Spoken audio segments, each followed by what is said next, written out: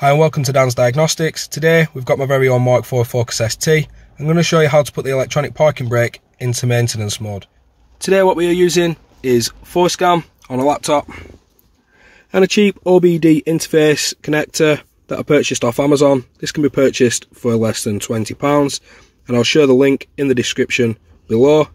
After unpacking you can see it's just got a little bit of information it's got an up arrow and a down arrow saying high speed CAN, medium speed CAN. There is a little switch here that you do have to toggle and I'll show you this when we actually get connected up to the vehicle. The OBD2 connector connects directly up to the data link connector in the vehicle and a little USB connector. So let's get it connected up. So now I've got the connector connected up to the vehicle, USB connector connected up to the laptop. Forscan is now loaded. So the first thing we need to do turn on the ignition, come over to the screen, click OK. Down the bottom left here, it says connect to vehicle, and you can read ignition keys in the on position, which we've just done. The high speed, medium speed CAN switch on the ELM327 is in the high speed CAN position. So we just make sure this is pushed over to the high speed CAN position. Make sure the vehicle's not moving, which obviously it isn't. We click OK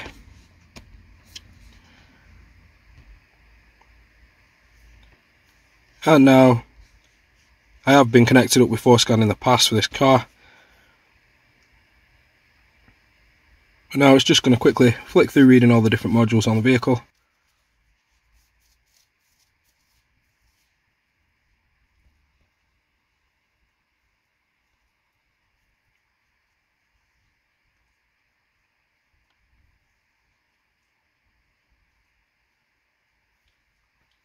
Now you can see we've got a new pop-up saying this vehicle may contain a medium speed CAN modules. Does your ELM adapter have high speed medium CAN switch?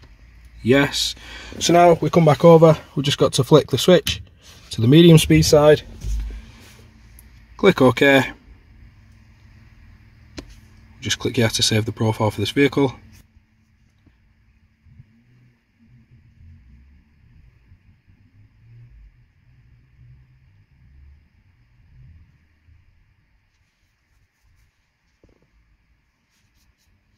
Saying down here ready.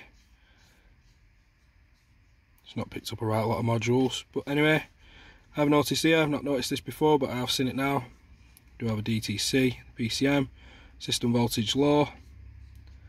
And one in the BCM, transmitter identification code. Not bothered about them today. What we do want to do now though is come down to the spanner. It's better I turned the camera off and I just had a little play. I wondered why I weren't getting all the modules. We've now got all the modules reading properly. So, I've clicked on the spanner, I've scrolled down, and you can see under ABS, it says enter electric parking brake maintenance mode.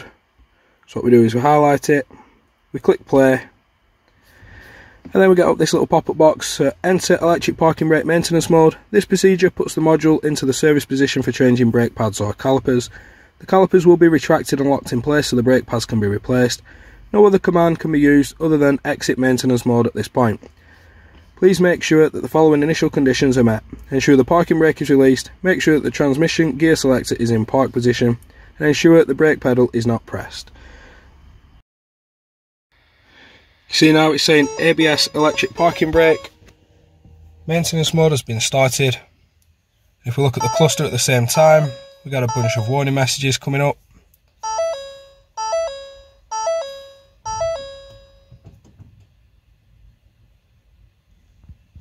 And back at the screen, enter electric, electric parking brake maintenance mode, complete the necessary work, Replacing brake pads or servicing calipers. Run exit maintenance mode, service function when the work is finished. So we click OK. And then we see service procedure completed successfully. Happy days. So we'll get the work done and then I'll show you what we do next. If you have electronic parking brake on the back of your vehicle, you do not actually need to wind it back. You can just squeeze the piston back as you would normal calipers on the front of the vehicle anyway. New rear disc and pads are now fitted. Come back to Forscan and up in the top left corner it says service procedures. If we click this and we come back down, you can see we're still highlighted for enter electric parking brake maintenance mode. Directly underneath it, it says exit electric parking brake maintenance mode. So we'll click that, come down and hit the play button.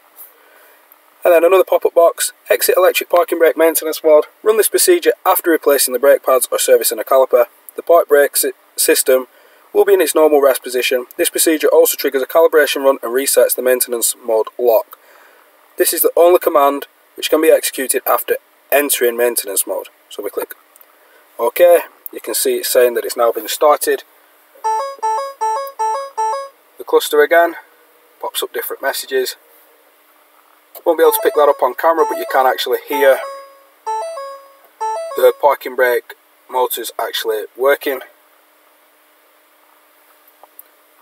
The screen itself you can see is jumping up to 100% and it says it's completed successfully. We look back at the cluster, we always get a hill start assist not available message warning coming up.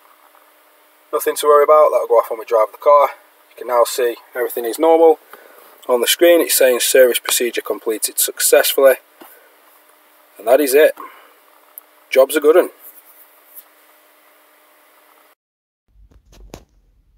Now I did want to show you this on the laptop. Unfortunately, the laptop has just died, so I'm having to do this on my phone, record the screen. If you come onto YouTube itself, show you, click on YouTube.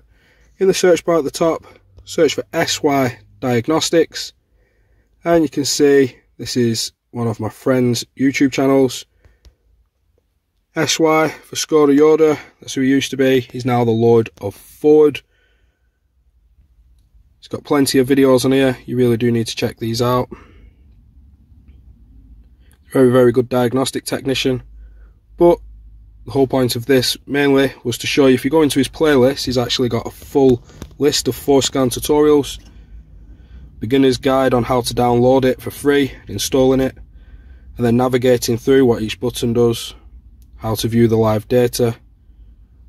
There's plenty of information in these videos to get you very familiar with Forscan and using the connector I showed you early on in the video you should be able to do plenty with your own vehicle. You really do need to check this guy out. Please do, please enjoy, and if you've liked today's video then please do hit the like button, please comment and please do subscribe to my channel. It'll help me out massively. I should note that Earlier on, I mentioned I'll post a link to the diagnostic connector. I will get commission through Amazon if you do purchase it through that link. I do need to let you know that. Right guys, thanks for watching.